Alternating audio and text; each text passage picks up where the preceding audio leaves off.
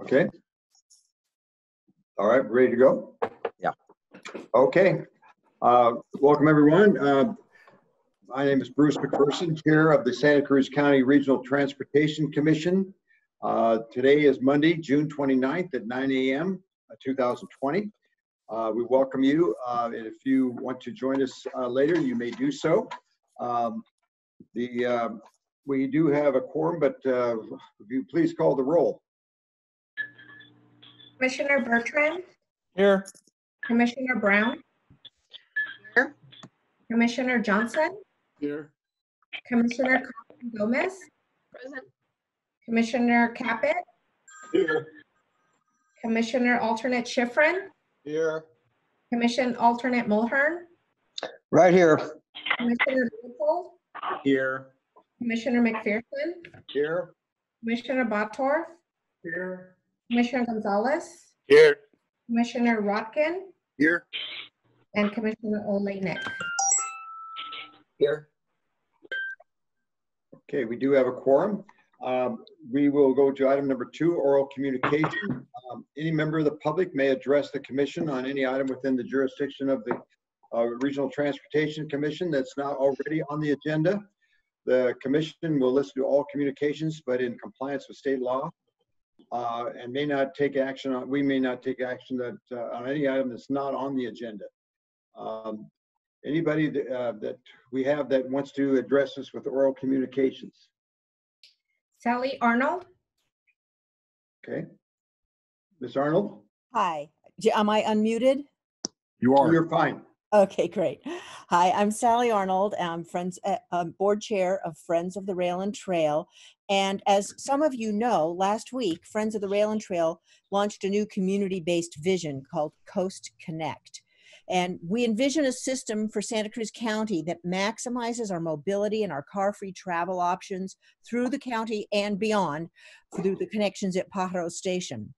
This would use innovative passenger rail technology, an expansive, safe trail network, and integrated first and last mile options, including the coordinated metro service, cycling, walking, shared mobility options.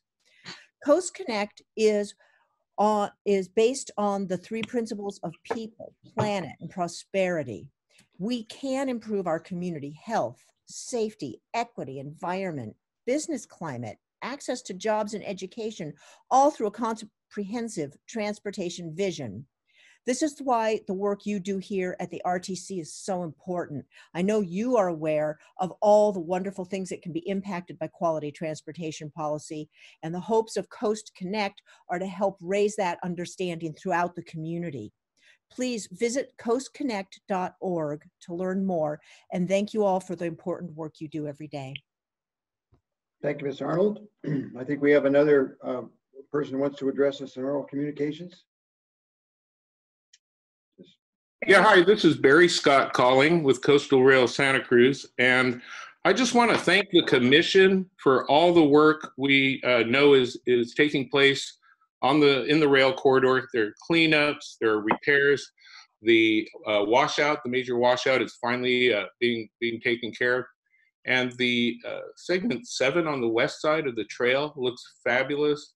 The uh, Watsonville is getting ready to, to start. And I know that uh, other items are in queue so that we can start on 8, 9, 10, and 11 before too long. But I'm just really impressed with your your uh, with your work, with your engineers on staff, and with the contractors uh, that we see so much progress uh, taking place. So just just want to thank you for all all of the work. Thank you, and thank you for your input throughout the, the years, uh, the months and so forth. We appreciate it. There's a lot, a lot of work going on. Anyone else that we have that would like to address us on oral communications? Michael Saint, Yeah. Mr. Saint, We're not hearing you. Uh, no, I don't. Can you hear me now? Yeah, Yeah. Yes. Okay, sorry about that. Uh, Good morning, Commissioners. Michael Smith with Campaign for Sustainable Transportation. Uh, A very important date is just two days away, July 1st, 2020. On Wednesday, the- the new revisions to the uh, California Environmental Quality Act take effect. Of utmost importance uh, is a requirement that state agencies stop using level of service to measure environmental impacts and instead replace it with vehicle miles traveled. This change was called for by SB 743, passed in 2013. Uh, since 2017, some cities around the state have been changing their environmental reviews to use vehicle miles travel instead of level of service. Focusing on level of service, as we have been doing in the past, created unintended consequences. Longer commutes, more car travel, more congestion, increased admissions, less housing where needed, higher housing transportation costs, fewer housing and travel choices for everyone. As an advocate, it was my hope that the commission uh, would adopt VMT as its criteria for transportation projects before July 1st, 2020. Uh, it is quite apparent that this Transportation Commission will not adopt the new revisions of VMT, but continue using level of service. Uh, this is extremely disheartening. In this moment in time, a window has opened for a shift from car eccentric projects to a more sustainable way of transportation. And unfortunately, like a lot of our public comments, it falls on deaf ears. One bright spot was a recent court case won by advocates. Although this RTC commission had followed the law in its regional plan, the appeals court ruled that the RTP was nevertheless deficient because it failed to consider alternatives that reduced vehicle miles traveled. Uh, this would not have happened without the tenacity of the advocacy groups calling for better planning. And that is what Campaign for Sustainable Transportation asks of our RTC. Listen to the informed constituents, follow the CEQA guidelines, help us with the climate crisis, make our county safer and more economically viable. Thank you for listening. Thank you very much, Mr. Saint. Um, anyone else? Lowell Hurst had his hand up, I saw. Lowell, you're muted. You're muted. Lowell, yeah. you- Got the mute button? Lowell?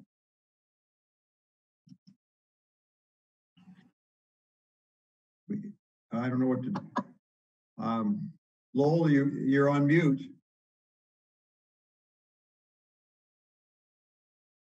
I know the feeling. Lowell, if you go to the bottom of your screen, there's a thing that says participants. And if you click on that, something will show up on the right side of your screen with your name on it, and you get to click a, a microphone, which will allow you to, there you Thank go. There you go.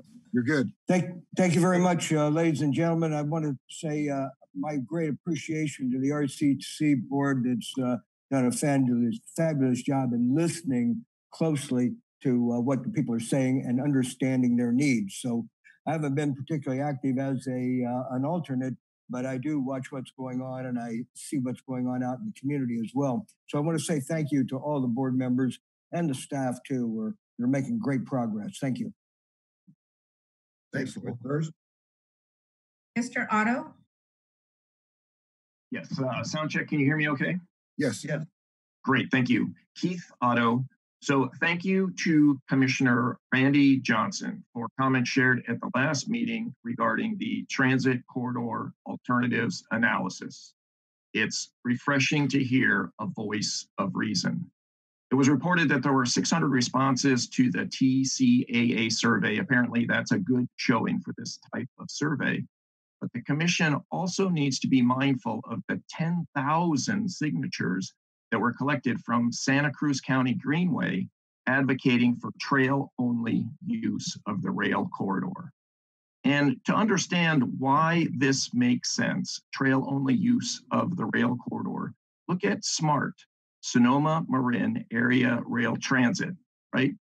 They were the basis for many commission decisions. What's happening there? How are they doing?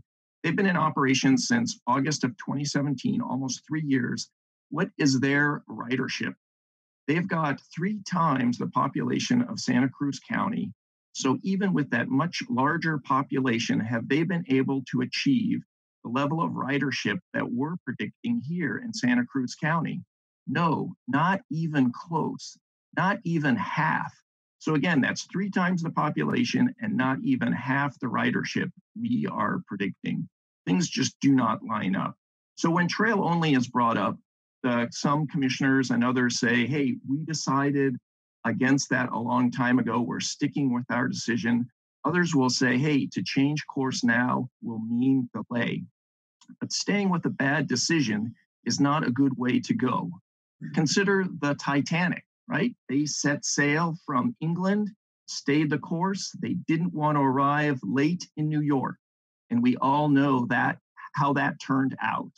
The options that you're considering with the CAA is like selecting which color deck chair should be used and placed on the Titanic.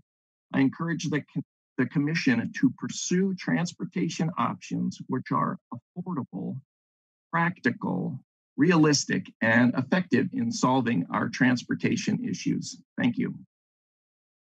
Thank you. Thank you, Mr. Otto, those comments. Um, we have somebody else? Uh, There's another person?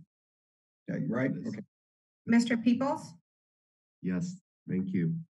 Um, hi, this is Brian uh, from Trail Now. Thank you, Commission. Um, first of all, Keith, fabulous uh, discussion there. Great, great commentary. Um, here we have our uh, latest artist, local artist, artist Stephen DeCenzo, helping to illustrate issues with the current train and trail plan. The illustration shows a rail car with RTC commissioners heading into a narrowing mine, heading into rail debt. The sign on the right tells us that the mine narrows and the trail is divided into an, is diverted to another area, reminding us that over 35% of the trail will be diverted to surface streets with the current train and trail plan. That's 12 and a half miles. As the rail car heads into rail debt, Supervisor John Leopold says everything is fine. We disagree. Everything is not fine. Santa Cruz taxpayers are paying over $6 million a year just to maintain the old railroad track. And the tracks sit there for decades and decades more. In the middle is Supervisor Zach Friend saying, oh, please stop. Zach is a South County supervisor and he actually lives very close to the tracks. Uh, Zach basically quit the RTC commission over plans to have 60 trains a day speeding through our community and neighborhoods. Zach is a well-respected uh, representative of our community. And when a leader like Zach quits a commission, we would think that the commission would get a message that maybe big trains speeding through our neighborhoods is not the right solution for our small community. Next, we have Mike Rotkin saying, no stopping now. Mike is a big supporter of the train no matter what and does not seem to grasp that our community cannot afford a train. Studies show that a train has zero impact on traffic. It actually would increase traffic at street cross crossings, and it is preventing the cost-effective construction of the trail. We see that with segment A, which is $10 million a mile versus uh, what should be $2 million a mile. So we're concerned, our problem is that we're asking for the commission to redirect, not head into rail debt and begin using the Santa Cruz Coastal Trail now. Thank you. Thank you, Mr. Peoples. I'm going to just make it clear, uh, Zach didn't quit. He, he recused himself because of his place of residence near the tracks and he is, his um, staff member um, is um, um, Patrick Mulhern has taken his place on it. I just want to make it clear he didn't quit per se, uh, that his, um, his alternate is Patrick Mulhern, who is serving on the commission. Uh, in uh, in uh, issues regarding um, the rail, and that's the reason. Okay, uh, but you're right. He's not on the commission or making uh, decisions on the commission at this time regarding the rail. Okay, do we have anybody else? We do. We do not. Okay, all right, um, we will, um, go to additions or deletions. Uh, Anything that's added or deleted from our agenda? Everything's copacetic, okay, we will move to the consent agenda. Um, we have items number, uh, what, four through ten that are on the, oh, excuse me, four through fifteen that are on the consent agenda. Is there anybody that would like to pull an issue that's on the consent agenda? Anyone from the public want to address us on an issue that is on the consent agenda? Ms. Arnold? Okay, Ms. Arnold, on the consent agenda, and which item is it that you would uh, like to address? Um, actually, I'm speaking on several items um, around the rail corridor. There, you have a, you have quite several on the, on the agenda. Um, Can I interrupt for a second, please? uh-huh. Yes, Bruce, I just wanted to let you know that there were a couple changes to the agenda. Um, there was a handout for staff report um, on item eight, and that is on consent. right. And then there's also a handout for item 16 and a replacement page for item 21. And, and my apologies for interrupting. Okay, so we do have the one item on the consent agenda. There's no resolution on item number eight. It's just to consider authorizing uh, to enter a contract. There's no resolution involved in that. Is that correct? That's correct. Actually, the uh, uh, staff report, which was a handout, is a recommendation not to award the contract. That's why there's no resolution. Okay. Okay, um, Ms. Arnold, uh, do, okay, d- uh, you can address us on items on the, uh, consent agenda. We really like to leave, leave, uh, limit it to three minutes. Uh, so I don't know if you wanted to address each item on the consent agenda or a few of them? I will definitely be less than three minutes. Okay, thank you. Go ahead. Sure. Um, we just noticed that the consent agenda and actually several other parts of the day's agenda um, include several items related to the maintenance of the right of way.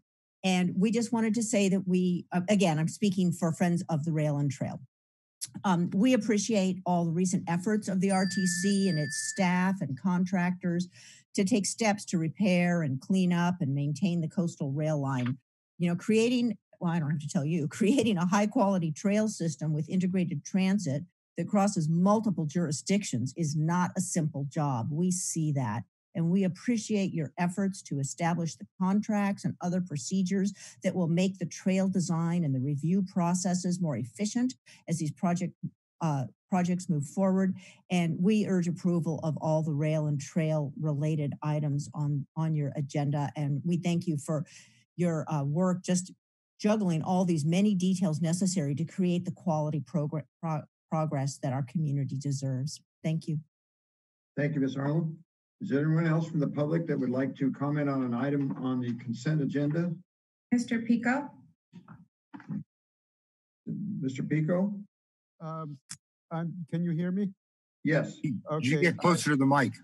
Um, well, I'm on my computer and I don't quite understand, but can you hear me now? It- it- Yes. This is, this Yes, is a trial run and it turns out that I misunderstood. I want to raise my hand for joining later on, on the, the, the regular agenda. My apologies.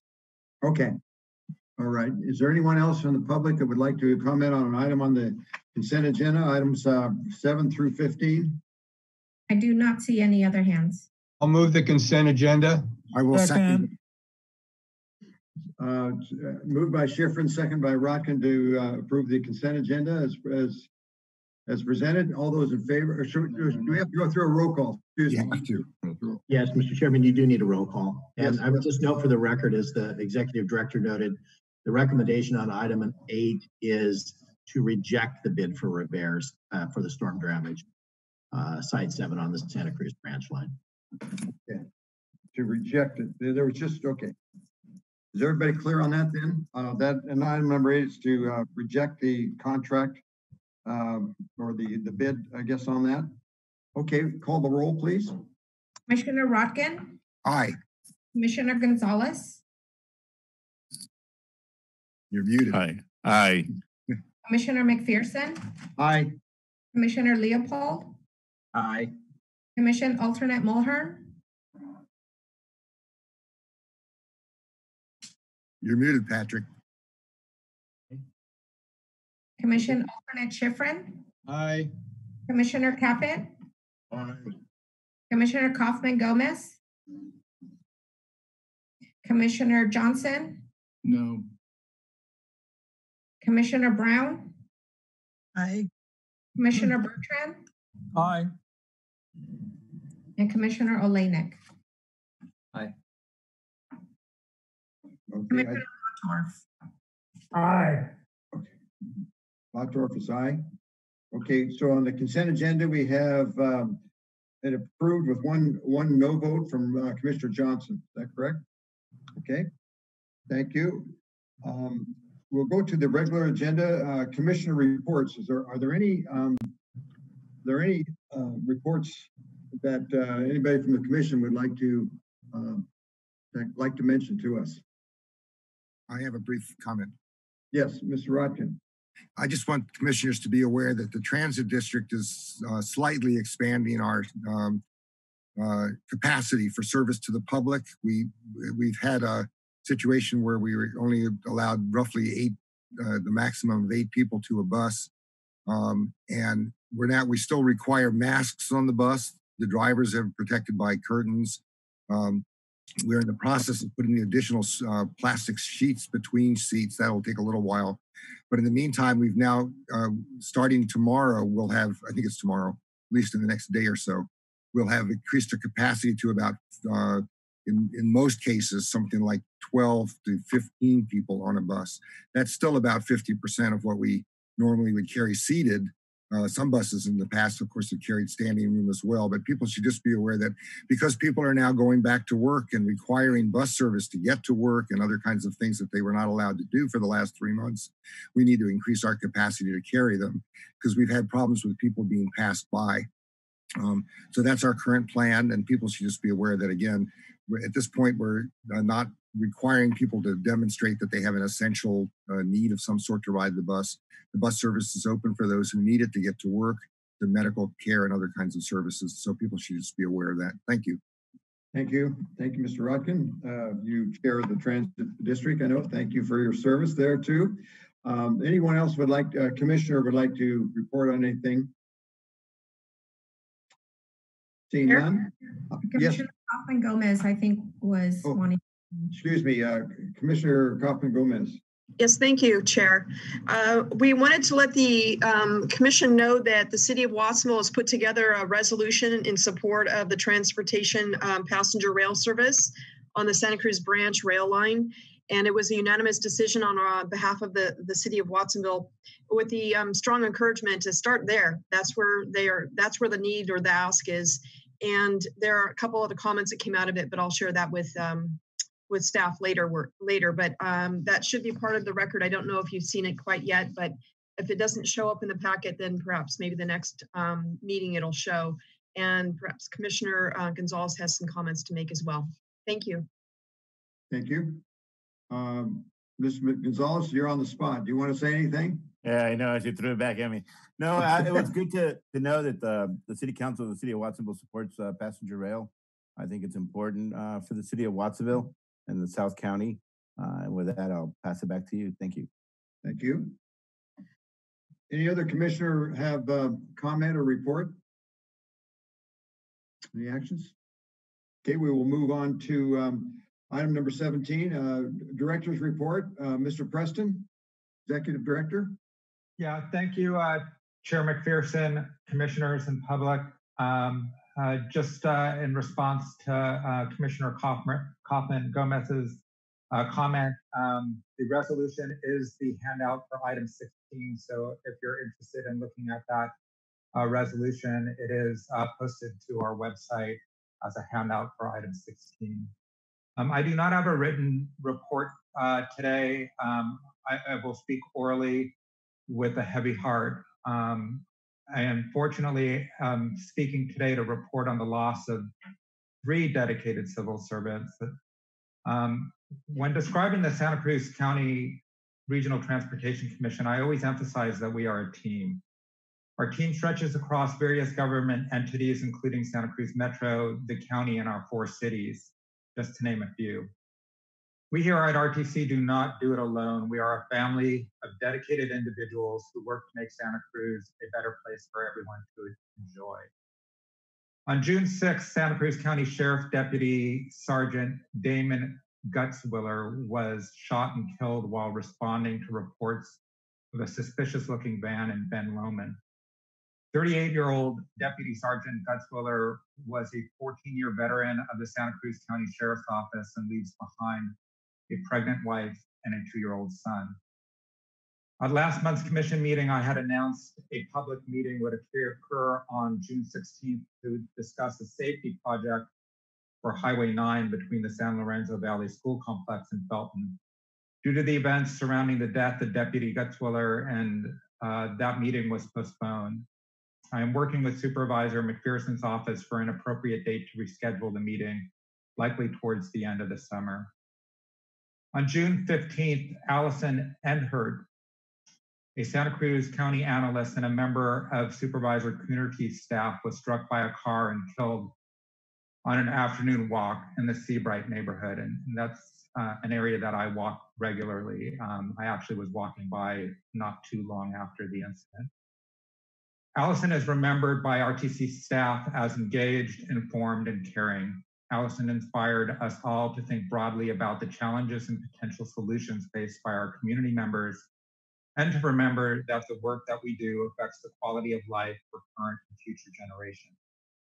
43 year old Allison Endert is survived by her partner and their two daughters, ages 15 and 12. Tragedy has a strange way of happening in threes. Unfortunately, I found out this weekend that one of RTC's own, Tegan Speiser, passed away on Friday morning.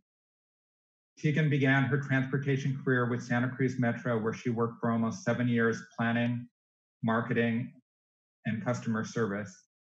She was also the founding executive director for the Santa Cruz Area Transportation Management Association for five years, and as such, also served on RTC's Interagency Technical Advisory Committee.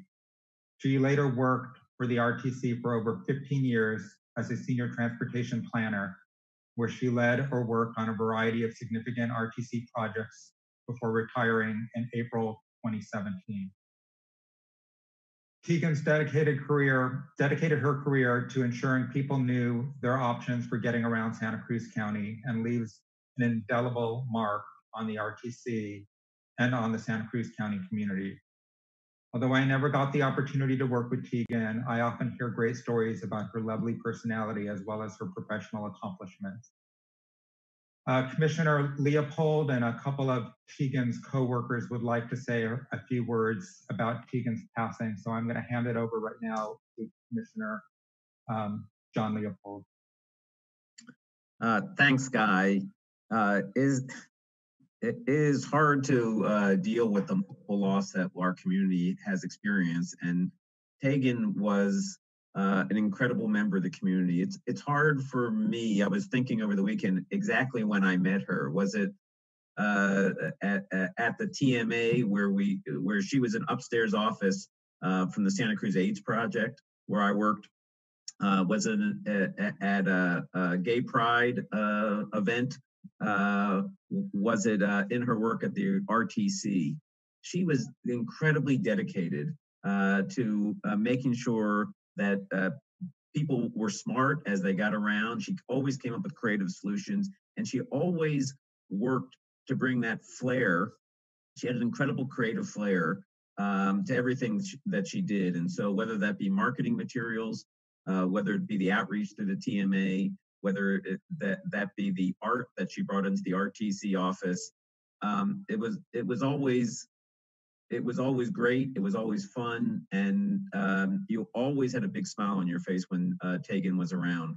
Uh, after she left the uh, RTC, uh, at one point she became the executive director of the of Temple Beth El, uh, where I happened uh, to be a member. And there she she brought organization to the organizational chaos that is any congregation.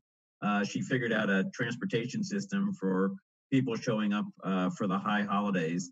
Uh, and she uh, changed the way things looked inside that the the building uh, because she had such a great artistic flair.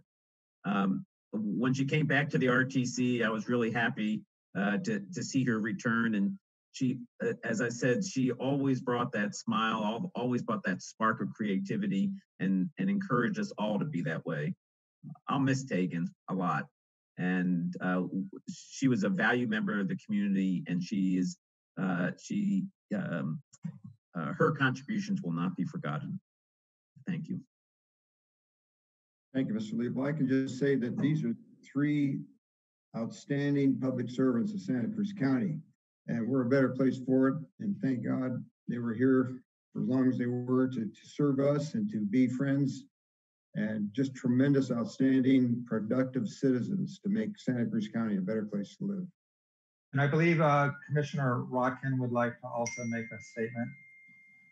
Thanks. Uh, Tegan was an amazing community activist. I, I, worked with her really closely on the West Side neighborhood organizing back in the 1970s, starting around 75 or 76.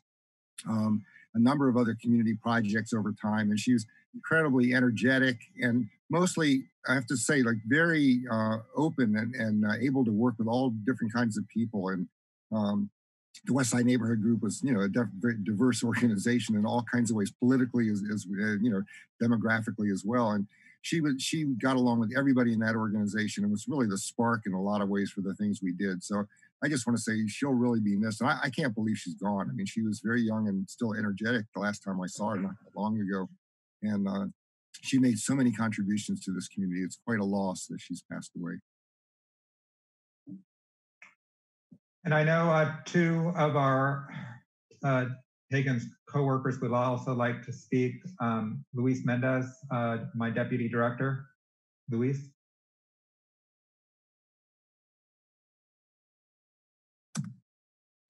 Good morning, everyone. I think um, everyone at the RTC knows how, how instrumental Tegan was on, on many RTC projects. I mean, she was, um, you know, extremely uh, helpful helpful in making sure that uh, the RTC uh, became uh, a well-functioning autonomous agency when we moved away from the county. It was, an, it was a daunting task, and I mean, I think Tegan, Tegan was you know perfect the job because she was so detail oriented and and um, uh, so great at keeping so many things moving uh, to make sure that that, that happened accordingly. And she's in, instrumental in, in our Cruz 511 program that we that we uh, currently have, which was extremely helpful during the 2016-2017 winter storms uh, when that uh, got tremendous uh, usage of the system, and it was tremendous, tremendously helpful to, to the people affected by the storms. Um, and and there's only there's a couple of the uh, of the projects she worked. I mean, she she worked in so many projects at the RTC throughout her career. Um, but even before working at the RTC, I mean, she was involved in transportation. I mean, I first met Tegan in 1994 when I was a starting transportation planner at the RTC, and she was um, executive director of the Santa Cruz TMA and a member of the RTC Interagency, Technical Advisory Committee. Then in 2002 is when she came to work at the RTC as a senior transportation planner uh, to leave her mark on, on so many RTC projects. Uh, and Tegan uh, became one of the people from whom I learned to be a transportation planner. Uh, from Tegan, I learned that good transportation planning uh, requires efforts from a variety of areas, including science, engineering, economics, sociology, marketing, politics, and communications, as well as a fair amount of investigation, discipline, patience, and perseverance uh, when I was a, a transportation planner, I was, I was also the union steward of, of our office. Tegan provided me with invaluable guidance and advice in my work as union steward and involvement with SEIU boards and contract negotiating teams.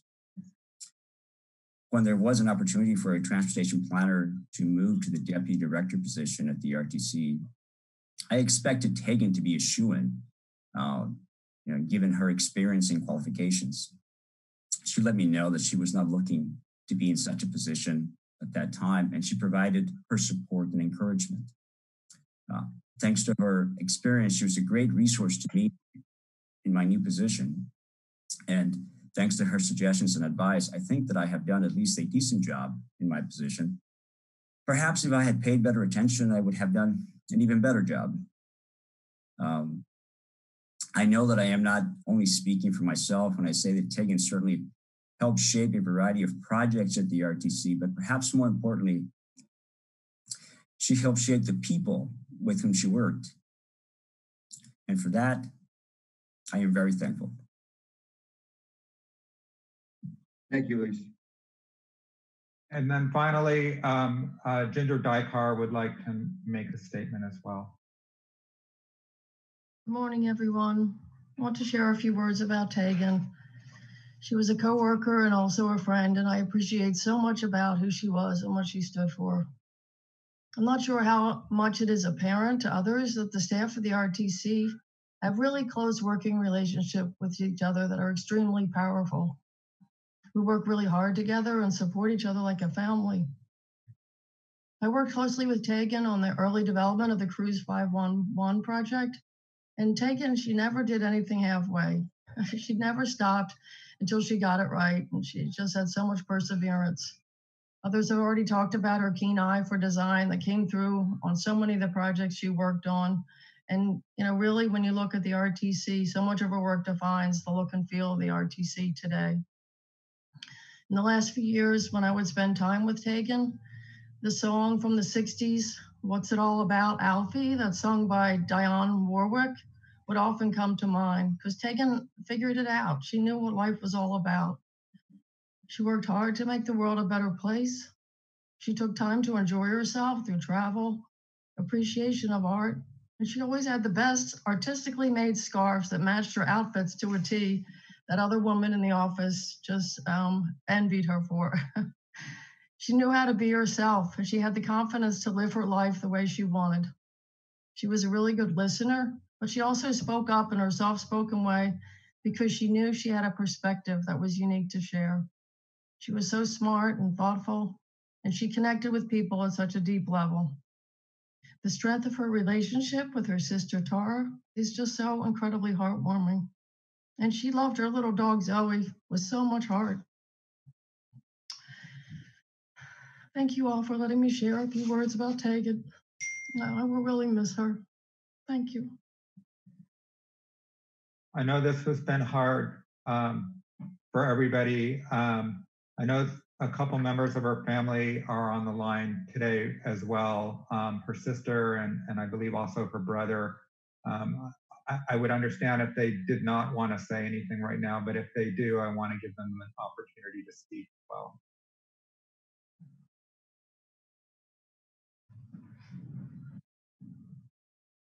Um, Mr. Preston, thank you. This is Saban Speiser. I'm Tara's um, brother. I'm Tara Tegan's brother. And I appreciate all the comments that people have made. I know several people on the commission. I know Mike Rotkin, he was my thesis advisor at Santa Cruz. and uh, it is really moving to hear uh, the impact that Tegan had on Santa Cruz and on the specific transportation policies and projects there. But it was also really moving to hear people's impression of Tegan that they are so similar to my own when I'm I'm trying to think of how to encapsulate what her life was about just to uh, hear uh, kind of my feelings towards Tegan validated by the people he, she worked with at the Santa Cruz um, transportation organizations. So thank you very much.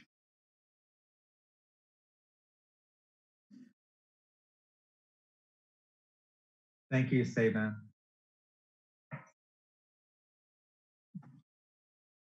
So this time has all been very difficult for us. Um,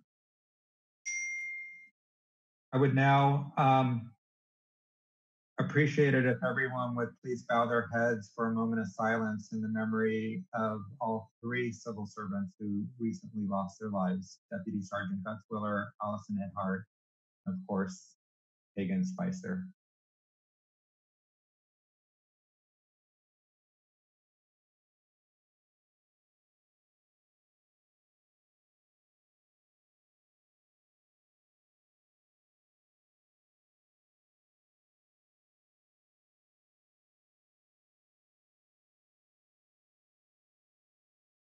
On this very sad note, um, we must continue our business. Um, this concludes my director's report, and I'll hand it back over to uh, Chair McPherson. Thank you, Mr. Preston, and uh, thank you for those deserving comments by everyone. Um, we will now go to the Caltrans report, and I might just uh, add before we hear uh, from Mr. John Olejnik um, that uh, I appreciate the, the work that Caltrans is doing that has such an important impact on uh, the motorists of Santa Cruz County. Um, you can see that improvement uh, projects are being done uh, throughout the area, especially the, the overlay on Highway 17, which thousands of our residents travel every day or used to before COVID-19, and probably many still do. Um, the clearing of the brush uh, over on the Santa Clara side uh, by Lexington Dam, I think was the, the most successful or most expensive uh, project of this type in the state of California to create a fire break there. God help us if we ever need it. So uh, they've been doing a lot of work and it's been very beneficial to the people of Santa Cruz County and uh, it's much appreciated. And I just want to let um, let Caltrans know how much we appreciate they're getting to so many projects in our county. But um, uh, the Caltrans report, I think Mr. Olejnik will be giving us a report. Yes, good morning, everyone, and certainly thank you, Chair McPherson, for that uh, compliment. We appreciate working with you and your staff and RTC and RTC staff as well. There's a lot of good in the transportation world we've been accomplishing together, so that's that's really nice. Um, as far as my brief report this morning, I, I, I just at last minute added one thing uh, following a comment in the initial public comments by Mr. Saint. Uh, this is regarding SB 743 and the change of state uh, law in CEQA from a level of service analysis to VMT. Uh, just recent, just announced on Friday, uh, the Governor's Office of Planning and Research (OPR), their director, and our Caltrans director, Director Omishakin, they're going to hold a joint town hall this Wednesday at one o'clock to talk about SB 743 and its implementation. So um, that's what that's at one o'clock. It's a webinar. If you just go to the governor's OPR website or the Caltrans website, you should be able. Any, anyone in the audience should be able to find that uh, announcement for that town hall. Um, the July one date brought up. That's the deadline in CEQA for land use traffic traffic analysis for LOS for traffic for transportation projects. That's our highway projects. That date is not July 1 for, for Caltrans and for our transportation projects. That date is September 15th. That will be fully implementing the, the SB 743. So just want to add that. Uh, another point I look forward to just mentioning is that Caltrans and CHP has joined efforts in an enhanced uh, litter cleanup effort right now. And uh, between our two agencies, we're working hard to uh, just uh, do, the, do all of our litter removal projects and, and activities and enhance that as well. Uh, litter increases the risk of fire. It pollutes our waterways. It threatens wildlife, and it costs the taxpayers. It costs us millions of dollars uh, to be able to do these ongoing cleanup efforts. So we just ask the public and everyone to continue to dispose of trash properly. If you have a load, to cover that load properly as well. And then lastly, as far as just mentioning, since you brought up Highway 9, we've, we've appreciated working with you certainly on that. A lot of good work is continuing along Highway 9, including our project to develop a pedestrian pathway between the high school complex uh, towards towards the town of Felton. So um, as appropriate and the time's right to be able to set up another outreach to the community, we look forward to doing that as well. And that concludes my report. Thank you. Thank you. And thank you for that continuous effort on Highway 9 as well. Uh, is there a comment that um, that came in regarding the uh, the Caltrans report? I Thought I saw one. No. No. Okay. Any uh, commissioners have um, uh, any comments to make regarding the uh, item number 18 Caltrans report? Seeing none, we will move on to item number 18, Safe on Safe 17 Safety Corridor Program.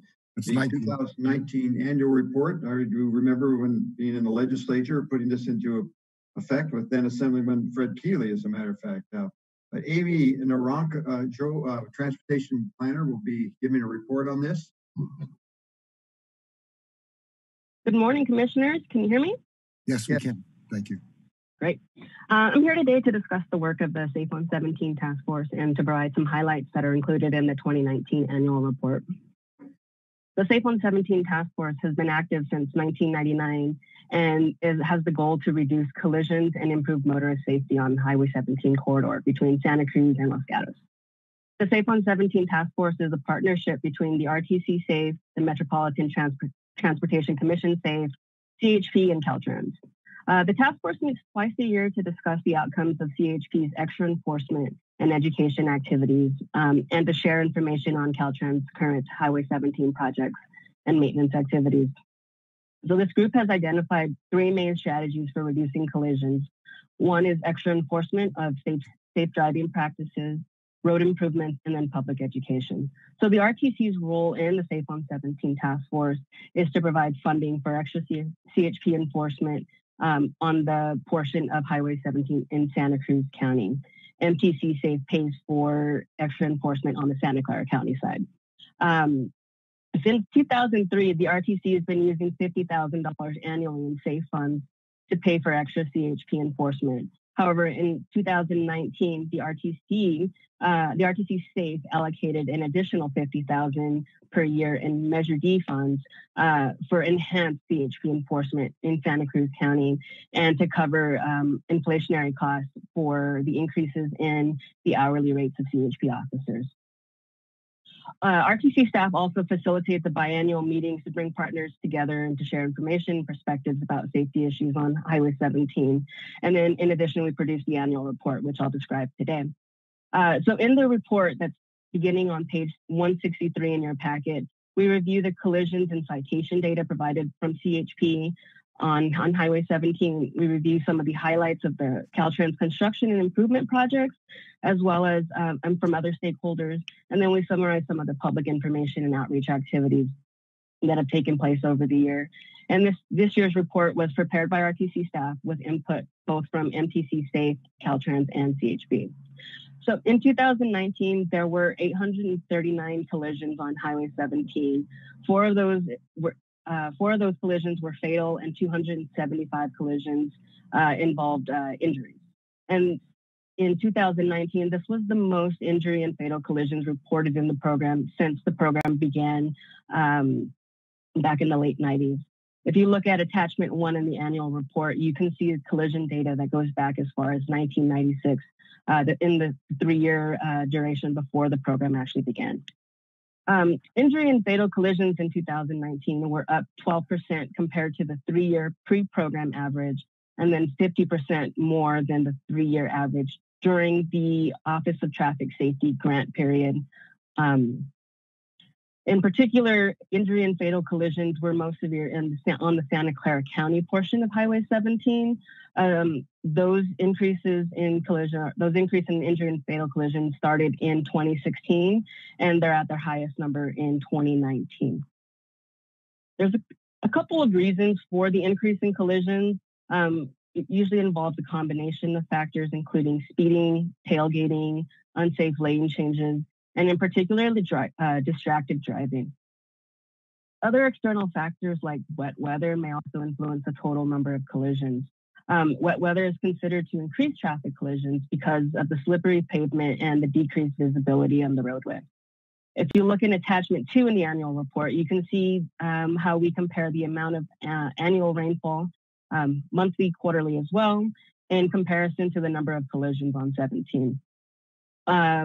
In 2019, there was a little bit more than 66 inches of rain um, along Highway 17. Most of that rainfall came in January and February, and then again in December. And those and those match up with the increased number of collisions that happened as well. So in response to the increase in number of collisions both in Santa Cruz and San Jose, uh, the CHP have focused their efforts uh, during commute hours when the when the probability of traffic collisions are, are likely higher. And then they also schedule extra enforcement during um, during higher traffic collision months and then on summer holiday weekends when there's more traffic on Highway 17. Um, in, in regards to the additional funding for um, for more overtime in Santa Cruz, the CHP worked total of uh, 1,186 officer hours for overtime on 17, and during that time they issued 1,284 citations. Um, Santa Cruz, in particular, they worked twice as many overtime hours in 2019 compared to 2018, and that's likely due to the increase in the available funds that was provided for extra enforcement. And in the report, you'll see in attachments three, four, and five, the annual, uh, the summary collision data, citation data, and, and extra enforcement data that we've been tracking since the program began. And then uh, finally, in 2019, Caltrans also completed um, additional safety projects, as, as, was mentioned previously, um, in, in including constructing multiple stormwater mitigation improvements, widening the shoulders, installing concrete guardrails, and repaving the lanes from Granite, Granite Creek Road to the county line, um, just to name a few. And then Caltrans and Cal Fire also work together to um, to work on the the shaded fuel break project to reduce fire risk along Santa, um, along the Santa Clara portion of Highway 17, and they just recently completed that project. You can see uh, their mid their mid port their mid progress report in attachment six of the annual report. And then uh, lastly, on in attachment seven, I included information about Caltrans in Santa Clara County that they also in 2019 they expedited a traffic safety project um, that will eventually begin construction in January 2021, and that includes uh, pavement restoration with high friction surface treatments, dynamic speed signs, enhanced striping, and improved safety lighting. Um, and then as far as public outreach activities, RTC staff will continue to provide information to the public about driving safely on Highway 17, including uh, tips for driving in the rain and um, sharing risk of distracted driving, um, both on the RTC and Cruz 511 websites, as well as our social media channels, and sharing information from our other partner agencies as well. So that concludes my report. Um, staff recommends that the RTC accept the 2019 Safe on 17 annual report. I'm happy to take any questions. And Sergeant Troy Vincent from the Santa Cruz CHP, he's also on the line to answer any, any of your questions that you may have specifically for CHP activities. Thank you. Yeah, I, I again want to thank Caltrans and uh, the CHP. I, Mr. Uh, who, what's the officer's name? Excuse me. Uh, would he like to make any comments? Uh, this is uh, Sergeant Troy Vincent. Thank and you, um, uh, we're just uh, trying to do the best that we can to, uh, well, reduce the traffic collisions out there. You see all the uh, information there, and I'm happy to answer any questions if you have anything. Thank you.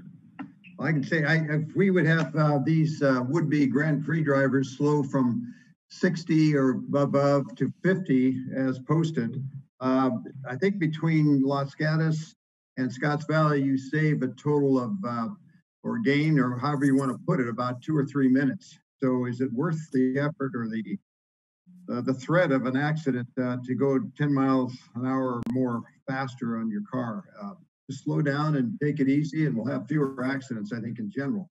But I do want to thank the CHP and Caltrans for everything it's done to make improvements on Highway 17. Um, is there any comments from the commissioners? I think we had some comments from the public as well. I, I had a question. Mr. Rotkin? Mine's really brief. I just want to point out that uh, I wish people sometimes only went 60.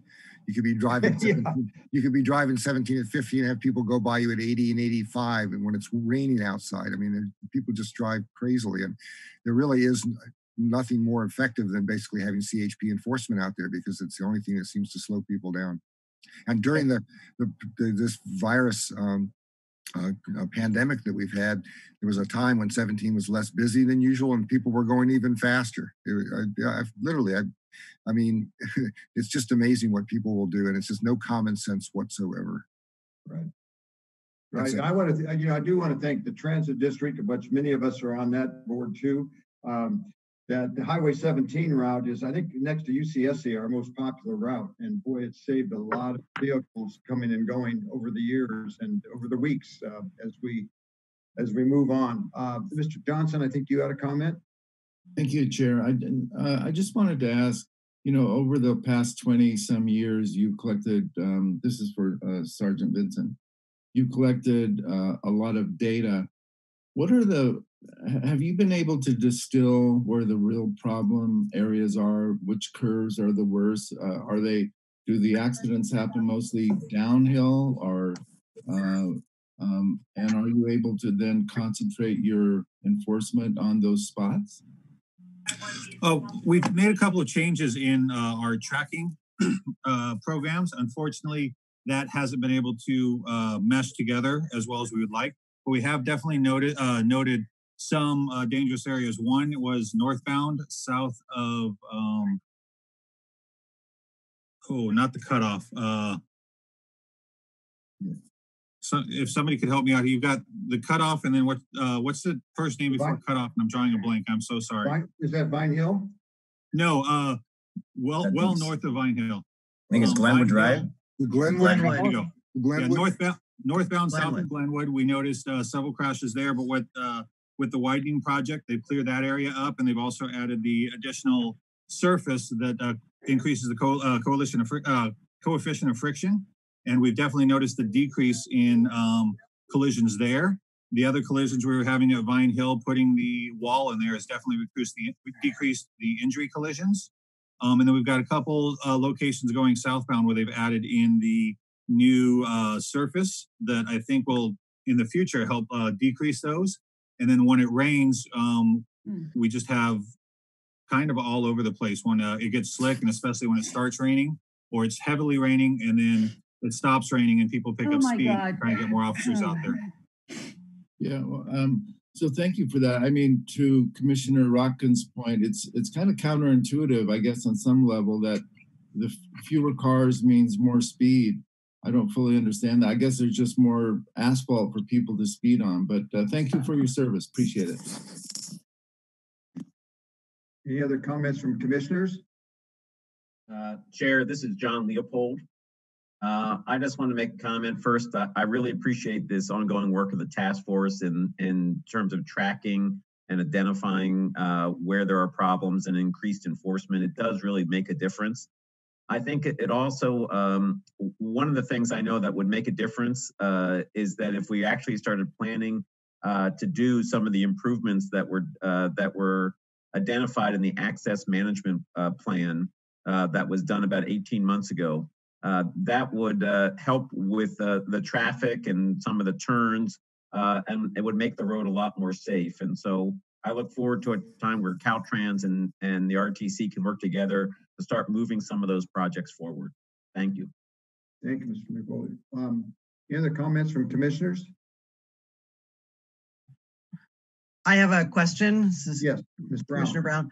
Uh, um, so I'm I'm looking at the the kind of trends over time for uh, collisions, and just wondering. I mean, I, there appears to be some correlation with uh, how the economy is doing. So I would assume that means how many people are driving over the hill um, for work. And so I'm just wondering if we have, um, if there's any data that can help us match up. Um, I mean, I not to say there's much we could do about how many cars are driving over the hill, but I think that those um, improvements that Commissioner Leopold was talking about um, and some of the other factors could, could help us understand how to deal with that. Um, and so I just wanted to hear if there's any data or if it's being tracked. Thanks. Yeah, so we, we do track um, we do track the ADT, the and let's see. Oops, I just closed my notes right here. Sorry. Um, I can give you that number right here. Um, and so there's typically about 66,000 daily trips on 20 on Highway 17, and that number is as of 2018.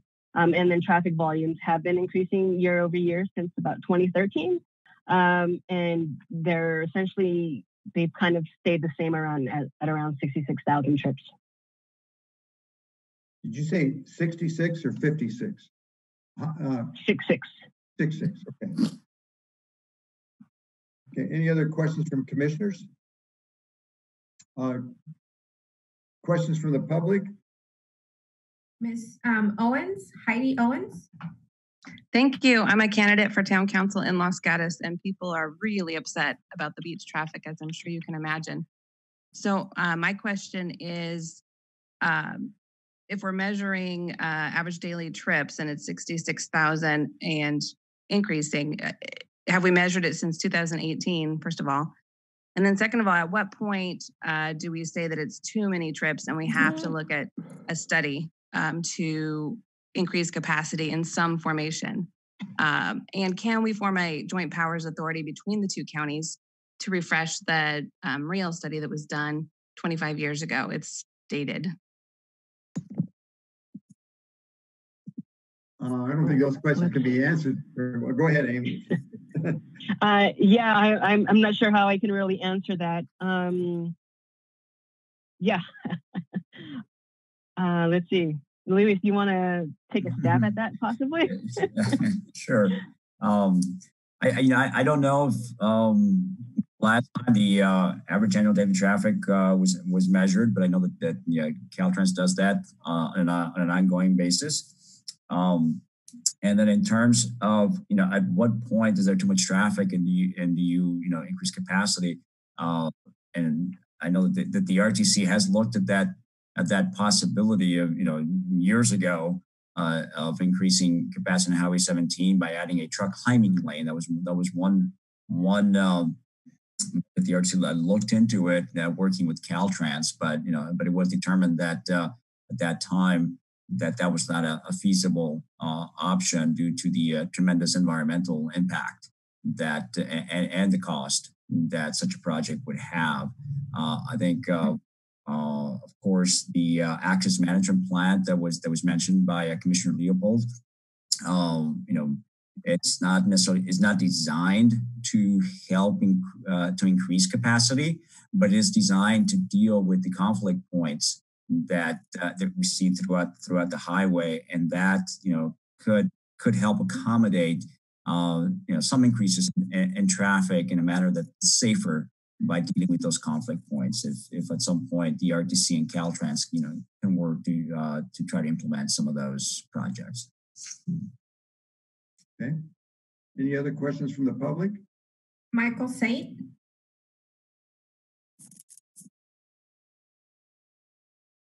Okay, thank you um, very much, Michael Saint, uh, once again. Uh, this question could be for um, Officer Vincent uh, or anyone else. Um, you basically, my opinion, you're not going to change human nature when it comes to speeding and driving poorly.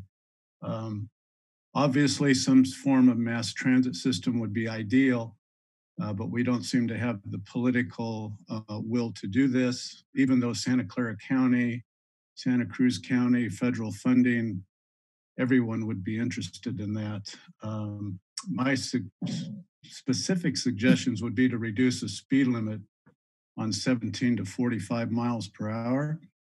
Uh, the reason being is I've had some experts not necessarily look at it, but I've spoken to them, and that, that road is mainly built for 45. And um, I've done both just testing the situation. 45 is a very comfortable speed, even in most of the corners. Um, is there any way uh, we could get some automatic type of system with huge fines uh, that would ticket people? In other words, an electronically uh, monitor system uh, as they do in Germany. And I know this from uh, personal experience because I was in Bremen, Germany and about a month after I got home, I got a ticket uh, with my picture in the windshield of the rental car uh, speeding in a 35 mile an hour zone. So it is doable. And if it's set along that Highway 17 in different places, uh, people get tired of paying these huge fines.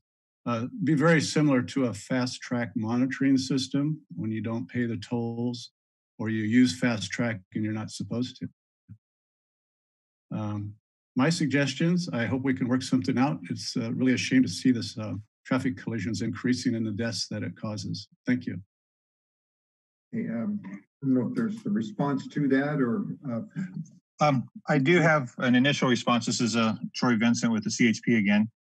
Um, our uh, departmental take on a uh, system like that is that it doesn't uh, actually affect the problem that's occurring now if somebody were speeding and they continue to speed and there's no officer to stop them and have the face-to-face contact to let them know what's going on hey you need to slow down um, then there's no immediate response to that and the chance and possibility for collisions actually increases um, as opposed to having an officer out there when we do see somebody speeding we make that stop um, you've got that immediate hey you need to stop and slow down plus having the officers out there is that extra extra visual deterrent uh, i understand the comments and uh, the possibility for an automated system like uh, he was talking about. But uh, our stance is that it doesn't have the immediate effect to say, hey, you need to slow down to avoid a collision. Okay, thank you, sir. Um, and any other comments from the public? I have a comment, Bruce. when it's Okay, appropriate. uh, Director Rotkin? I just wanted to comment on the rail question that the uh, woman who's running for um, Los, Los Gatos uh, Town Council raised. Uh, the RTC uh, a couple decades ago studied really intensively the possibility of rail service over the hill. Um, we were uh, quite supportive of that concept. I was on that committee that worked on focused on that issue, included walking the entire uh, right of the old right of way where the railroad used to run over the hill. There used to be 11 tunnels that people went through, and the problem is the Santa Cruz Mountains are simply too steep for a train to be an effective means of uh, travel. It could be done. It's not that you couldn't do it, but we sold off most of the right of way. So that option, you know, running parallel to 17 turned out not to really be feasible for economic reasons. It would have been completely cost prohibitive to try and rebuy. A lot of that's all been built and there's houses in literally in the right of way at this point. Um, the idea of running a train down the center of 17 then became a possible thing to we studied that look at that option but the the uh, if a, a, a railroad train really can't go over uh, 12% grade and even then it has to go really slowly to get over a 12% grade and that part of that highway has got a 12% grade or higher and so you'd have to um, there'd be tunneling involved. You wouldn't just simply put the the trail you know in the middle of the the, the uh, between the lanes. And of course, it require widening to do that in some places. And widening on 17 is really expensive because you basically have to build bridges or um, on the sides. It's not as if you can just add a lane somewhere. It's not just a question of buying property. It's a technical issue of, of making it happen. But the, the final fatal flaw in the railroad possibility was that a train would take about an hour and a half to get from uh, Santa Cruz to the, the San Jose. And whereas it's people don't like riding 17 there's about issues and everything else you can get over there even tra- traveling the speed limit in something like 45 minutes to an hour for that part of the ride and that would have been double an hour and a half by train and it was obviously people were not going to take a train that took them twice as long to commute to work every day so it really became a non-feasible project that we studied quite intensively and gave up on and the people that gave up on it believe me were committed to rail and hoping that it was going to work. This was not trying to kill it or something we're trying to make it happen but it simply was not feasible so that's not really an option i don't think that's serious at this point Thank you for that historical perspective, Mr. Rotkin. Thank you. You've been around a long time. Uh, Any other uh, uh, comments from the public? Commissioner Mc- Commissioner McPherson, it looks like Ms. Owen might want to respond. I don't know if you would like to allow that. Um, I don't know, I've, I've seen a couple of the chats explain, she just wanted to know who was speaking and um, I think she, Uh, I- appre- she appreciated the I'm- comments. I- I'm Mike Rotkin, and um, you can definitely, I'll just say my email is open up, O P E N U P, one word, open up at ucsc.edu. And please feel free to email me if you have a question. Okay. Chair, Any this other is John. com- Can I- Can I speak really quickly?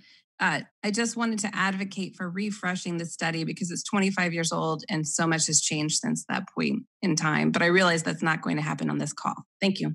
Thank you. Um, any other comments from the public on item number 19? Okay, good discussion. Um, no action is necessary. Thank you for that report, Amy. Appreciate it very much. Uh, we will go to Thank item you. number. Excuse me? There? No, you- thank you. Okay, you're, okay, good. We will, uh, we will now move to item number 20, uh, the fiscal year 21, 21 budget. And like everybody else, um, we, uh, well, it's, we, it's kind of up in the air, if that's where you want to put it, but, uh, there's a, uh, we're going to utilize, utilize some of our reserves and, um, we just want to find out, uh, when the financial stabilization is going to be coming before we, we, uh, use them all. But, um, we're going to try to maintain some flexibility, but I think, um, Mr. Mr. Preston, are you going to report on that? Or is this Tracy New, excuse me, Director of Budget and Finance? Going to report on this? Good morning. Yes, good morning. Thanks, Tracy. So uh, Senior Planner Rachel Moriconi and I have been participating in local and statewide meetings and webinars to keep apprised of the projections and forecasts on sales and transaction tax revenues in the economy.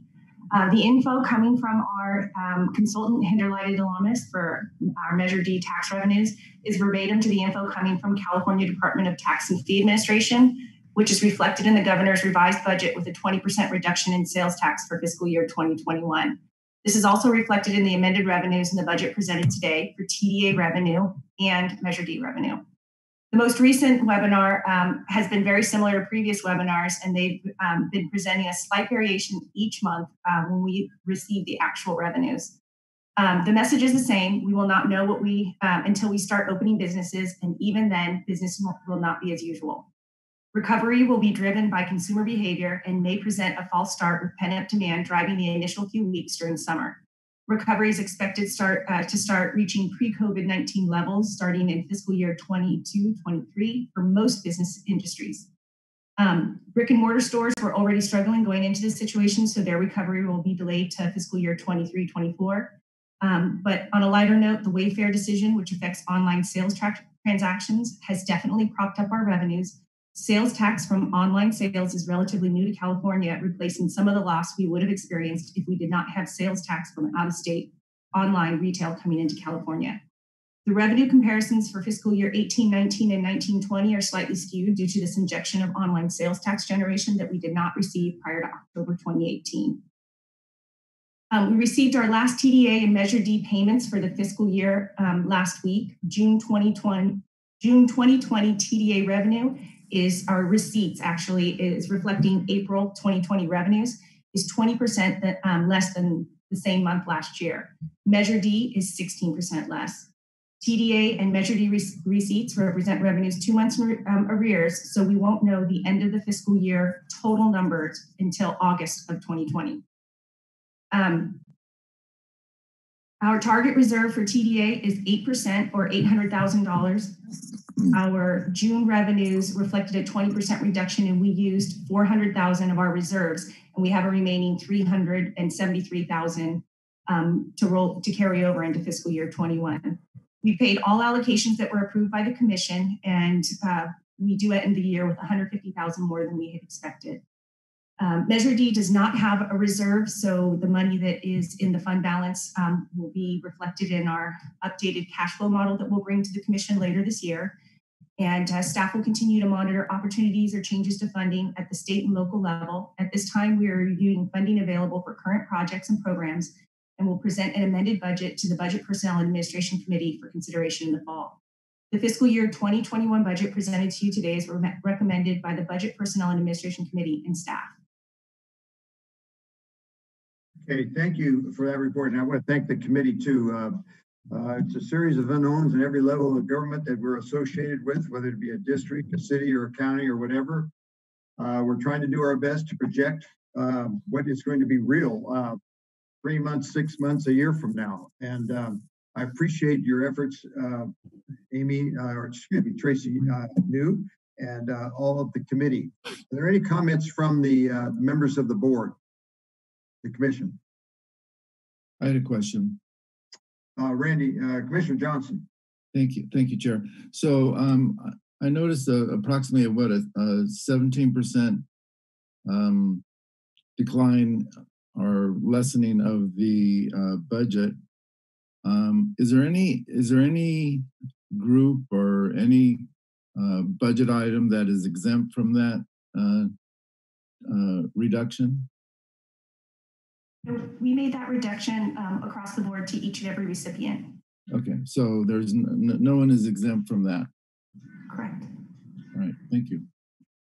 I have a question. Uh, Mr. Schiffrin.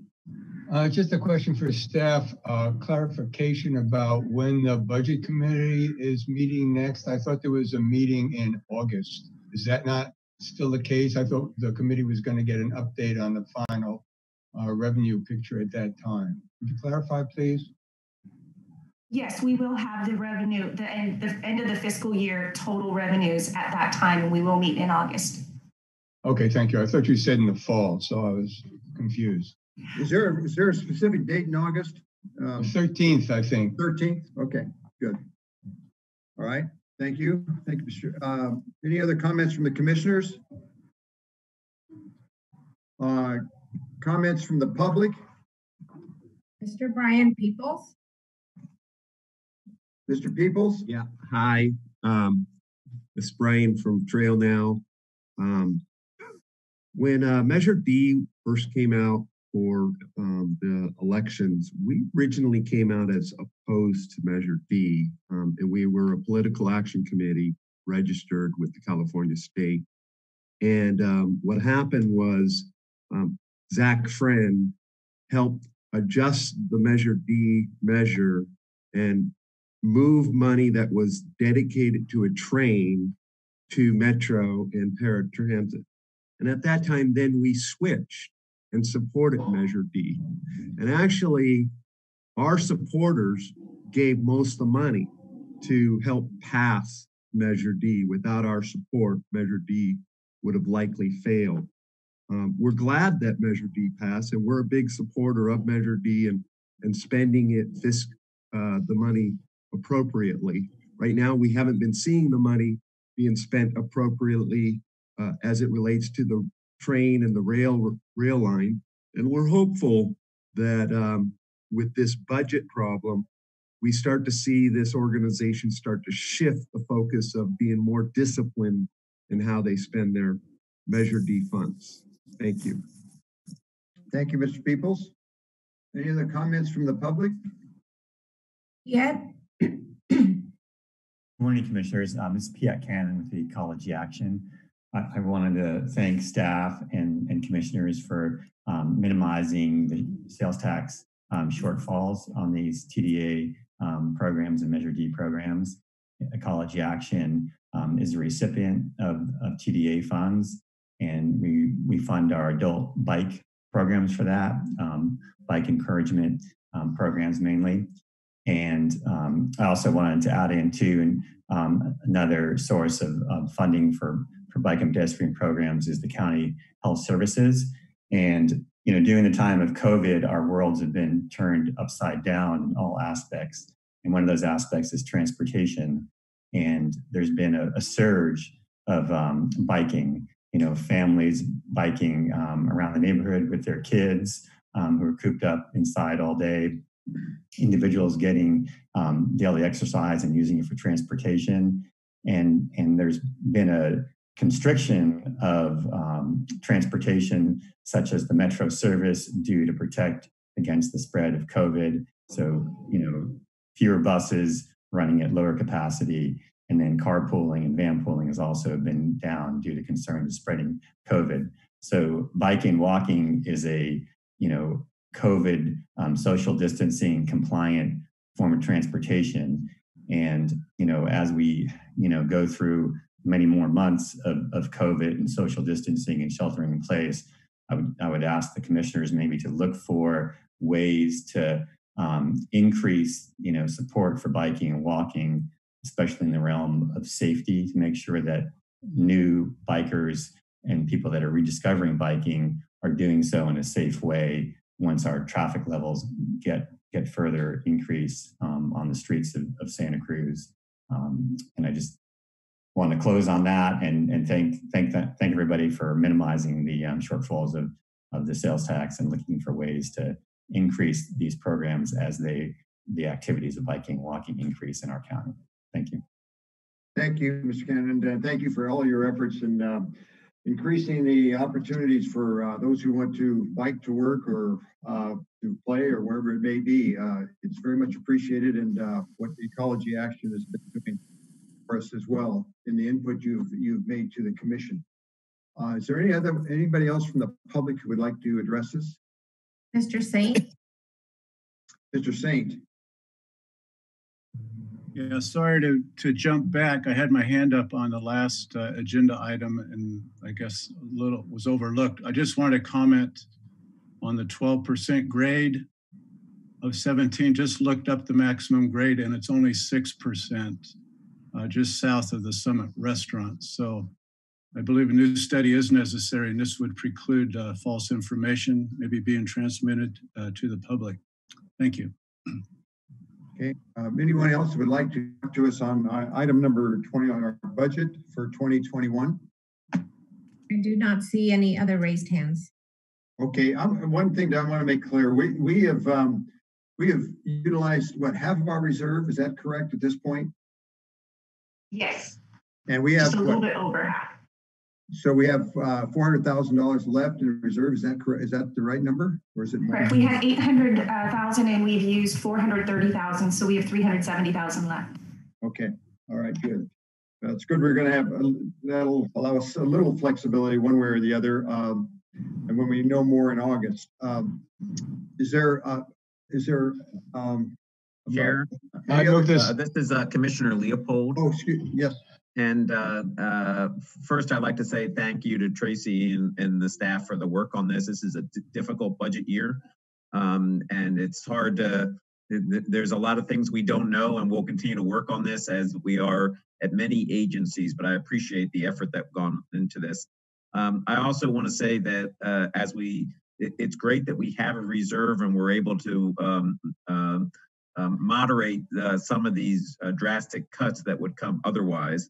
And uh, the hard work in putting together that reserve uh, has allowed us to do that. And that that is something that it, that we have to do during the good times uh, to help us out when we get to times like these. I do think that as uh, the uh, receipts recover through the TDA and other things, we should look about those organizations that don't usually get increases and think about uh, adding some extra dollars in there. Um, that's down the line. We, we're not there yet, but uh, usually we only give certain agencies increases, but not um, things like Bike to Work or Ecology Action, like Santa Cruz. We might want to consider that in the future. But I'm prepared to move the recommended action. Uh, Second. Moved by Leopold, second by Schiffrin. I didn't even push the button. Oh, did, did, uh, Mr. Gonzalez, did you have a comment? Or did you want to make a comment, Mr. Gonzalez? No, no, I just got to get faster on the, the button. Okay. It's like Jeopardy or something here, yeah. Okay, we have a motion before us. Is there any comments? Let me, uh, anybody like to still say something on the budget for 2021 as presented? Okay, we'll have a roll call, please. Commissioner Rotkin, Aye. Commissioner Gonzalez, Aye. Commissioner Bottorff, Aye. Commissioner McPherson, Aye. Commissioner Leopold, Aye. Commission Alternate Mulhern, Aye. Commission Alternate Schiffrin, Aye. Commissioner Caput, Aye. Commissioner Coffman-Gomez, Yes. Commissioner Johnson, Aye. Commissioner Brown, Aye. Commissioner Bertrand, Aye. and Commissioner Olejnik. Yes. We have a unanimous vote there. Hey, that's great. We can move right along now and uh, review. We'll probably get back to the budget in August as well. Um, Okay, that's a unanimous approval of our 2021 budget amendment. Uh, We'll move to item number 21, the consultant contract award for preparation of right-of-way boundary survey and encroachment identification along the Santa Cruz Branch Rail Corridor. Uh, Great, Grace Blakesley will make a presentation. Good morning, Commissioners. Uh, Grace Blakesley, Senior Transportation Planner of your staff. Um, I'm here to present the staff report to you this morning. In 2005, the RTC compiled data from a variety um, of sources to digitize and create maps of the Santa Cruz Branch rail line right-of-way owned by Union Pacific Railroad Company. The maps were developed as a reference for planning purposes and to provide approximate right-of-way width and location. As you know, in 2012, the RTC purchased the Santa Cruz Branch rail line from Union Pacific. The purchase of the right of way by RTC accrued, occurred through two deeds being transferred from Union Pacific to RTC. One deed transferred all the property to which UP had clear free title and could be covered by title insurance. The other deed transferred all other property rights owned by Union Pacific between milepost 0.433 and 3139. The property rights transferred to RTC are for rights to own and utilize the property for transportation purposes, not just operate a railroad. This gives RTC the rights to use the corridor for more than just railroad purposes, including a multi-use trail. As trail and rail repair projects are being constructed on the Santa Cruz Branch rail line, property boundary field surveys are being Well, performed. according to, oh, yeah. Segment 8, 9, 10, 11, and 12 of the Coastal Rail Trail projects will begin pre-construction activities this fall and will construct approximately eight miles of trail along the Santa Cruz Branch Rail line from the San Lorenzo River in the city of Santa Cruz to Rio Del Mar Boulevard in the unincorporated area.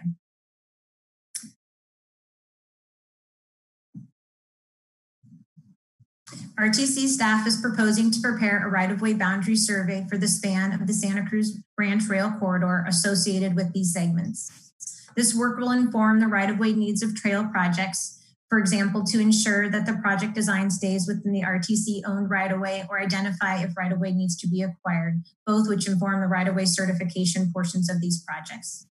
Initiating this work now will assist the local project sponsors in moving the design of trail projects forward it was addressed in the MBSST cooperative agreements that came before the RTC at their June 4th meeting. Another reason staff is proposing to prepare a right-of-way boundary survey for this section is to assist staff with coordination of rail line repairs with neighboring property owners as needed.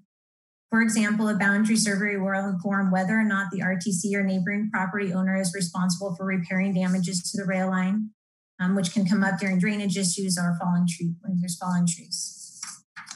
The boundary area, uh, the boundary survey includes aerial mapping of a 200 foot wide strip along the approximately nine mile long rail corridor from the Beach Street roundabout to Rio Del Mar, Rio Del Mar Boulevard.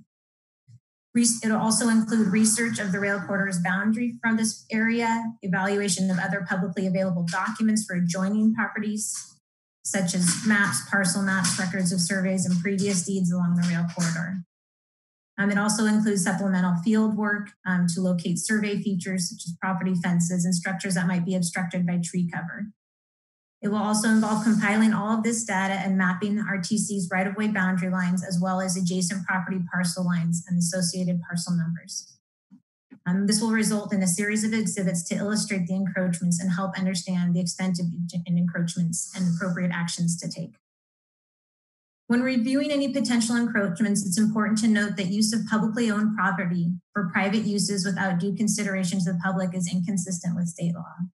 Therefore, once aware of unpermitted encroachments, RTC is obligated to notify property owners and make arrangements for the timely removal of encroachments that conflict with construction of the MBSST or other public projects or are not consistent with RTC encroachment policies. RTC's encroachment policies allow for the establishment of leases when the uses do not conflict with RTC purposes for purchasing the rail line, rail service operations and safety requirements, and development of, development of the MBSST. Prescriptive easement claims may not be made against railroad property or publicly owned property, you should know. Staff requested proposals for locating, relocating, establishing, um, retracing the property lines and boundaries Uh, for segments 9 and 10 and a number of parcels within segments 11 and 12 on the branch line from RTC's three on-call civil engineering consulting firms. We received one proposal and that was from RRM Design Group. RRM specializes in trail design and right-of-way surveys and mapping. As previously described, the first phase, the boundary survey phase, includes aerial mapping, ownership doc document research, and encroachment determination and field confirmation. The second phase would, phase would be a record of survey, um, which would include the development of encroachment exhibits and record of survey preparation and right-of-way monumentation. The total cost proposal for the phase one of the work is $183,170. Since the total number of encroachments are unknown at this time and will be determined at the conclusion of phase one work, the budget for phase two will be determined once the total number of encroachments have been found. So today's staff is recommending that RTC adopt a resolution authorizing the executive director to negotiate and enter into a contract with RRM Design Group for amount not to exceed $183,170 with the term ending in December 31st, 2012 to prepare the boundary survey and identify encroachments. RTC staff is also recommending the, um, amending the Measure D five-year program of projects for active transportation rail trail category to program this money and amendment to the fiscal year 2021 budget for MBSST professional services to include this amount. RTC will return, uh, staff will return to the RTC with cost estimate for the, um, phase two upon completion of phase one. That concludes my report. Okay, Ms. Blakeslee, thank you very much for that report. Just to be clear, uh, this was not included in the, the budget we just approved, but it is, there is sufficient programming capacity available to fund this. So uh, for money purposes, that's where we are, budget purposes. Um, this can be done and uh, we can move on. This is for between Santa Rosa River and Rio Del Mar. Um, are there any questions from the uh, commissioners? Uh, seeing none. Any questions from the public? I have uh, Mr. Peoples, Brian Peoples. Okay, thank you, Mr. Peoples. Hi, Brian from Trail Now. Thank you. Um, we we support this. First of all, it, this should have been done prior to the purchase. Um, you should have had this um, survey done. Um, and the concern we have is that a lot of guidance to the public about the railroad, the train and trail has not been communicated well. It's actually been misinformed because you didn't have these record of encroachments and, and boundaries of the property lines. And case in point, the Aptos Village, where Parade Avenue is going in, um, there's a dispute with the private owner next door, and the title report that the RTC has is incorrect uh, compared to the title report by the, the, the private owner who purchased the property. And so there's a major dispute going on there. That's a great example of why you need this. Um, we need to ensure that the corridor remains in public hands. Um, and so this is a good thing. Um, appreciate your work. Thank you. Thank you, Mr. Peoples. Any other questions from the public? Mr. Kerry Pico.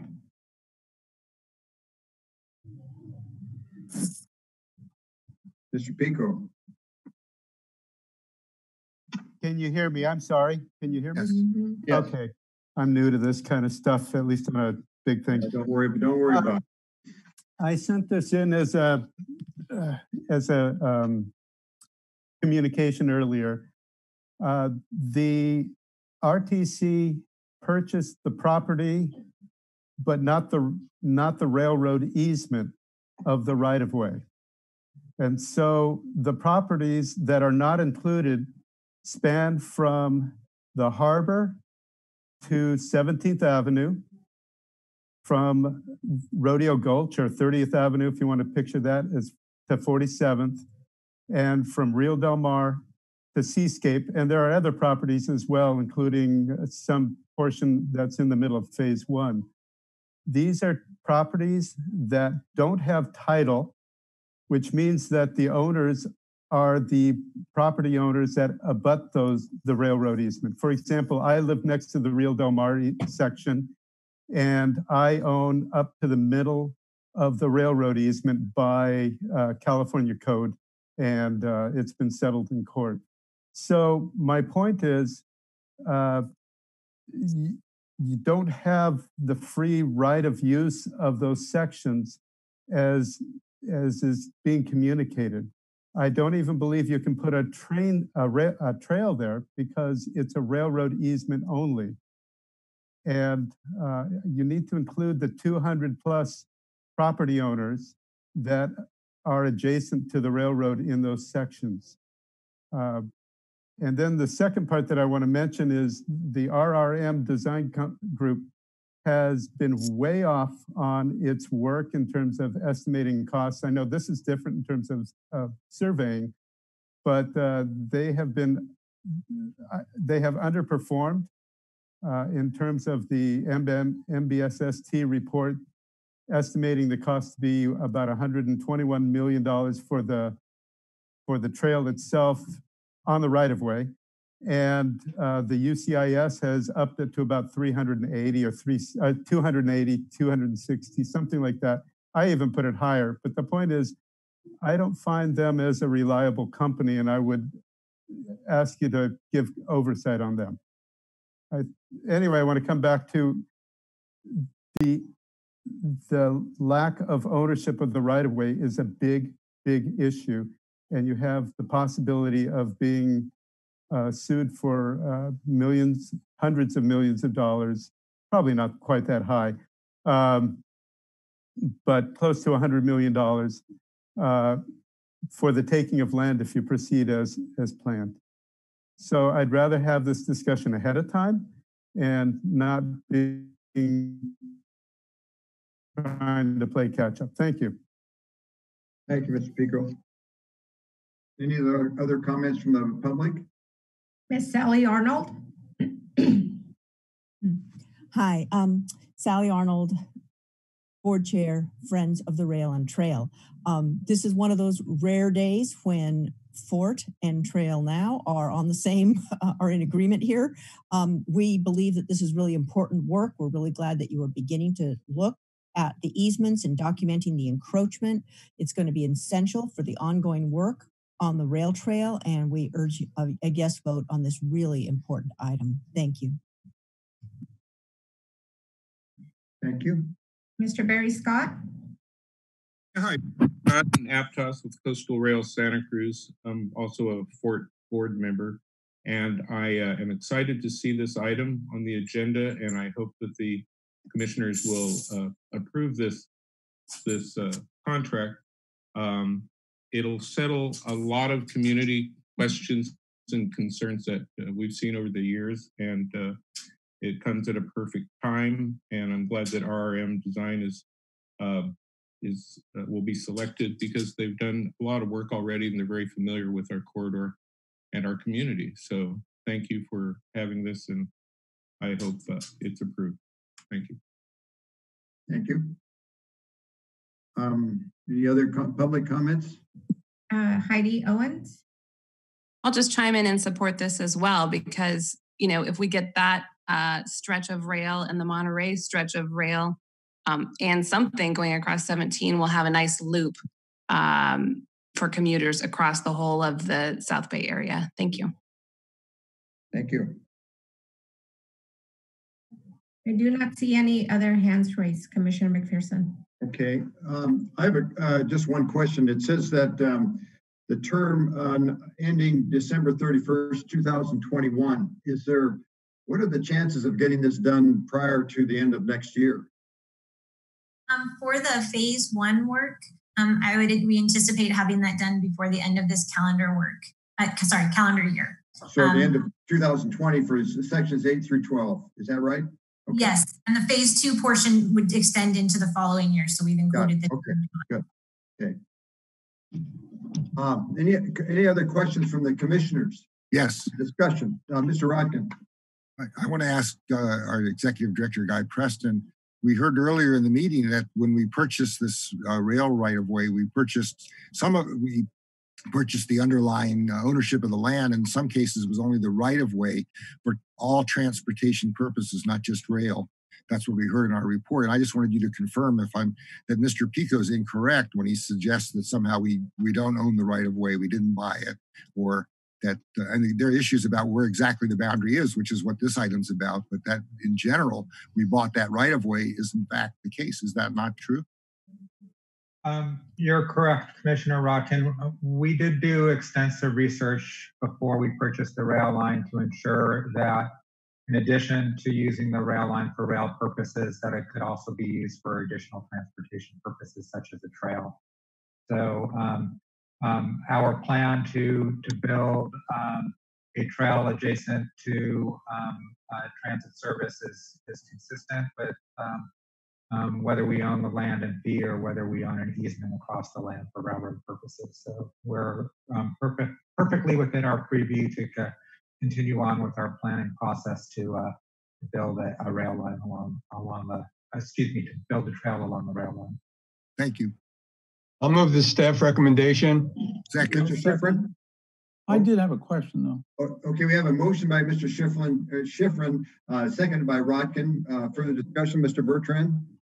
Yeah, I'm, I'm just curious about that report. My, I thought my understanding of the SB, um, Surface Transportation Board is that it's for rail. I, I didn't know it was for any other use.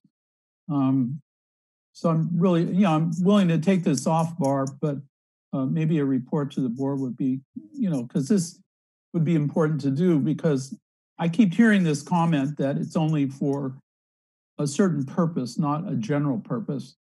And it keeps coming up in multiple discussions I've had with other members of the public. This is the first time that, to my knowledge, it's been brought forth in public discussion. Yeah, this is Chris Butler calling with uh, Monterey Coast and Carmel Realty. Yes. In Carmel, and. um, This is, this is, this is from the general public, excuse me, excuse me.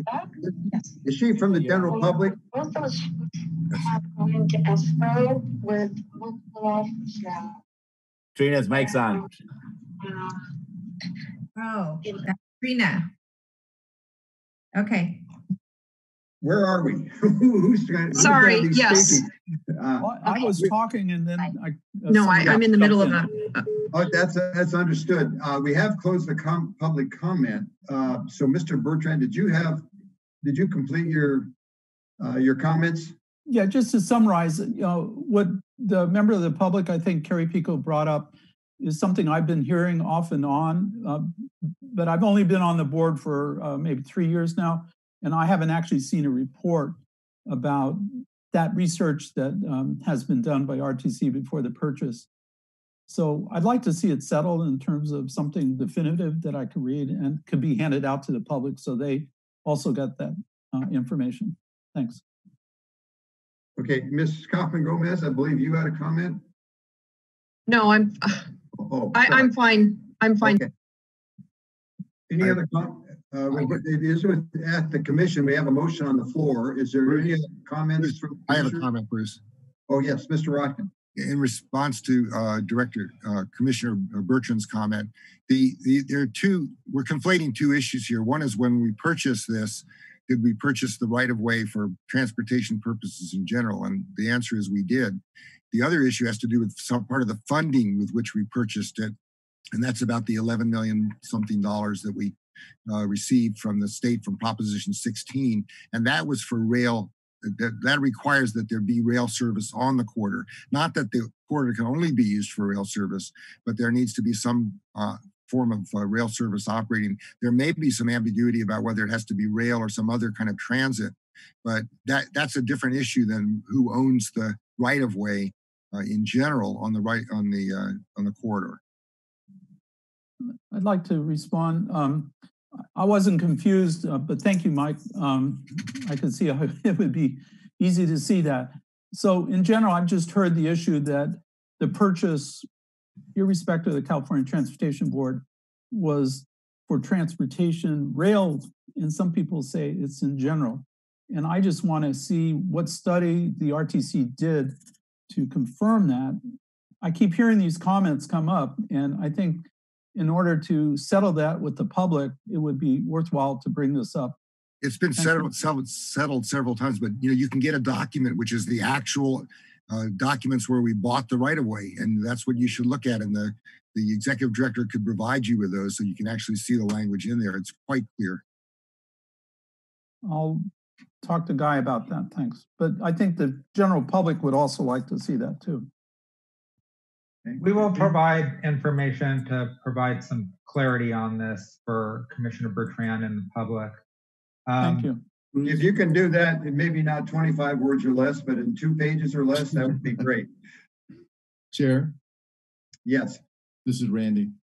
yes, Mr. Johnson. Thank you. So uh, I guess in some ways, uh, phase one, $183,000 seems reasonable. I'm always a little troubled when we only have one respondent uh, to uh, any sort of request. What scares me a little bit, of course, is phase two. It's always the other shoe starts to drop and what what starts out as reasonable all of a sudden expands into something that is gargantuan. So I'm going to support this, but at the same time, um, I don't. I, I guess I'd be very skeptical if all of a sudden phase two came in at you know half a million dollars. Um, I guess it is what it is, but uh, that's just a caveat I wanted to express. Thank you. Thank you. Any other commissioners before we call the roll? Seeing none, um, please call the roll. Commissioner Bertrand? Aye. Commissioner Brown? Aye. Commissioner Johnson? Aye. Commissioner Coffman-Gomez? Yes. Commissioner Caput? Yes. Commission Alternate Schiffrin, Aye. Commission Alternate Mulhern. Aye. Commissioner Leopold, Aye. Commissioner McPherson, Aye. Commissioner Bottorff, Aye. Commissioner Gonzalez, Aye. Commissioner Rotkin, Aye. and Commissioner Olejnik. Abstain. Um, okay, uh, we have a unanimous vote, uh, I think with one abstention, but, uh, um, that passes unanimously. We, uh, have completed our agenda. We're going to, uh, item number twenty-two, we're, we've got a couple of closed session items. Uh, Mr. Mattis or, I don't know, Mr. Preston, are we going to have anything reportable coming from these closed session items? Uh, Mr. Chairman, there will, we do not anticipate reportable action out of the closed session. The, the commission does have uh, two closed session items, one related to real property negotiations related to the branch line, and the second one related to uh, potential initiation of litigation related to a claim by RTC. Okay, so we do not have any reportable items coming from closed session. Um, to be clear, uh, we're gonna be going, do we stay on where we are or do we have to get to another link? Have to go to another link. Yeah. Mr. Chairperson, there is a, there is another uh, link that is in the closed session uh, memo that we sent to, my office sent to you on Friday afternoon. It came from my assistant Melanie Manessis, and we can resend it if the coun- if the commission would like. Okay, maybe just resend that in case some don't have it or in front of them. Uh, we'll take a, uh, it being, uh, ten minutes to eleven. Uh, we'll take a ten minute break and then get into closed session. Is that all right with everyone? We do it five minutes? Five minutes, okay, whatever. Uh, Five minutes, we'll, we'll move, we'll move right along. I just do want to announce that our next meeting is scheduled, I'm sure it's going to be a teleconference again. It's going to be Thursday, August sixth at uh, nine AM. Uh, So we will adjourn the, open the regular session of the Regional Transportation Commission and go into uh, closed session in five minutes.